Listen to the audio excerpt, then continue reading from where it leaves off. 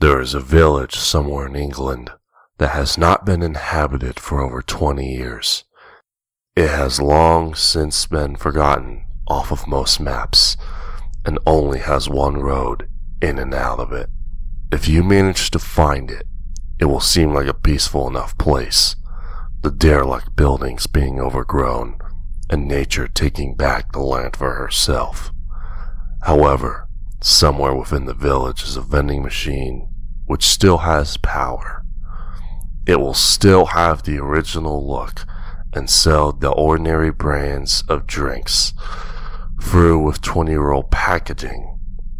However, the one at the very bottom will be marked E.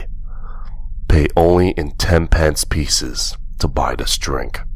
Before drinking the mysterious beverage, peer inside the can to check its color. Do not try to pour some out. It will refuse to leave the can, despite any vigorous shaking you may attempt. If it is green in color, drink heartily, as it will give you an unnaturally long lifespan and good luck in everything you do. If it is red, however, drinking it will spread a horrific pestilence over you, claiming one of your senses every 10 years after the date that you first guzzled the fizzy drink.